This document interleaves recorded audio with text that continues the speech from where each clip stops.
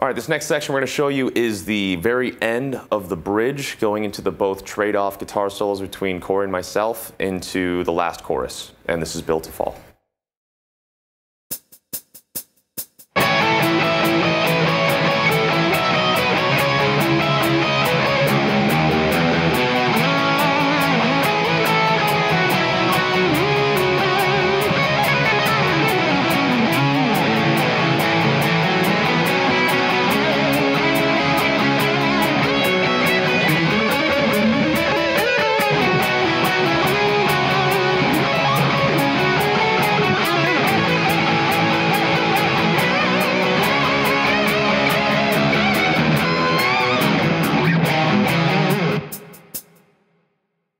All right, so the first solo in this song um, just pretty much starts off. It's a it's a B flat, or I guess minus the, uh, the, the flatness of the the tuning, but just like B flat C D. So when I start the solo off, it goes from like the root note and slides up to the D, and also this this whole first solo is with a wah, but I don't have a wah with me, so I can't really get the effect. Pretty much, you want the effect from the record, the first half of the thing is just you take the wah and you just put it like kind of half cocked, so you're not really moving it. Just gives you like that really kind of like interesting sound, but just starts off with like the slide.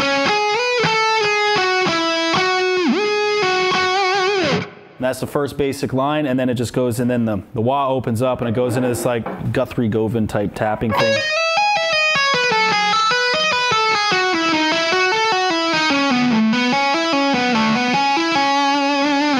And that's pretty much the that's the whole first solo.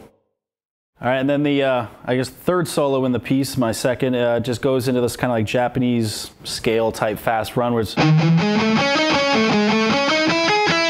it's the first little lick, and then from there it goes, and then the uh, you know the little ar arpeggio into like a slide.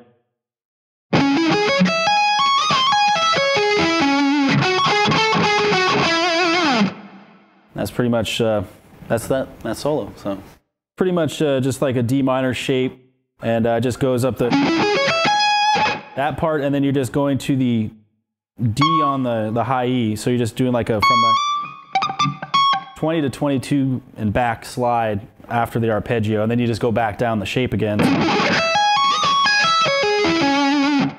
And then there's like another little melodic at the end of it, but it's pretty just a standard, you know, I guess you would call it maybe a minor nine because it goes to the E, but uh, yeah, so. So for the solo that comes in on Built to Fall, actually the solos on all the records for Mine on In Waves, I really wanted to take what I feel like I was best at as a player. I can do the shreddy stuff. Um, I used to really want to get to the virtuoso level as far as notes come, but I've, I've always been about the song and always been about serving the song. So since Corey has really been doing the tasteful shredding on this record, I wanted to go for more of the melodic solos. I, I don't know exactly who my inspiration was with these kinds of solos, but I've always really dug solos that are more about the, the simpler notes that happen, so I feel like they say more. But um, just like Corey said, there's some kind of like Japanese thing going on there. I have the same thing, probably because I'm Japanese. Um, and the solo is like very melodic, very easy.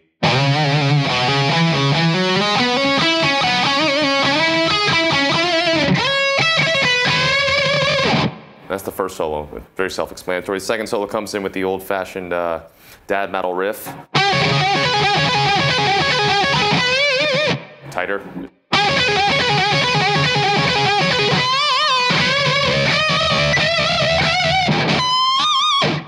And there it is. And a big thing with doing riffs like bends like you really want to make sure you mute the other strings very hard. I push down pretty hard while I do those. Get that clean sound.